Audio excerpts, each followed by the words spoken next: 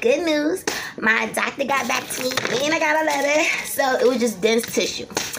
But you know, I got a little worried. You know, I get a call from my doctor like, Yo, Melissa St. Vil, yo, I'm just going back to the doctor. what? Cancer?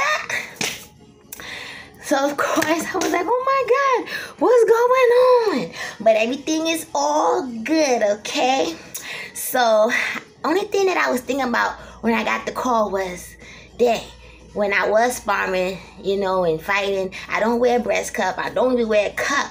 So that's the only thing that was popping in my head.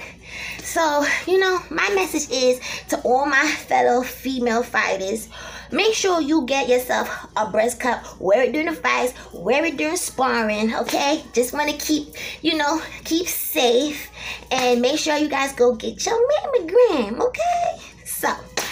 The good news. Hey, hey, hey, hey, hey, hey. We all good. Toodles.